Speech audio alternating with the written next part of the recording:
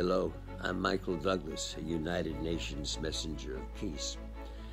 Since its establishment, the UN has sought to eliminate the most destructive weapons ever created nuclear weapons from our planet. With war waging out of control in Ukraine, the possession and use of nuclear weapons has grown to risk levels that we have not seen in decades. The United Nations is calling on young people around the world to join in the efforts towards a world free of these weapons of mass destruction.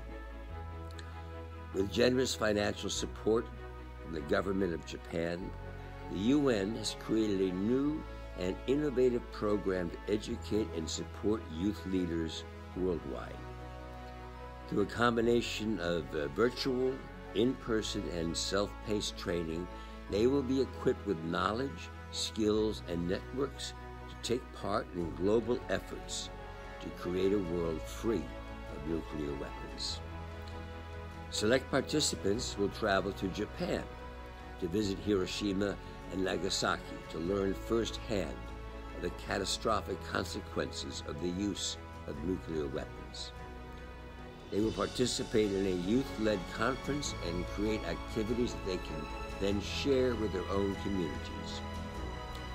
They themselves will become messengers to the rest of the world and help shape the future vision of disarmament.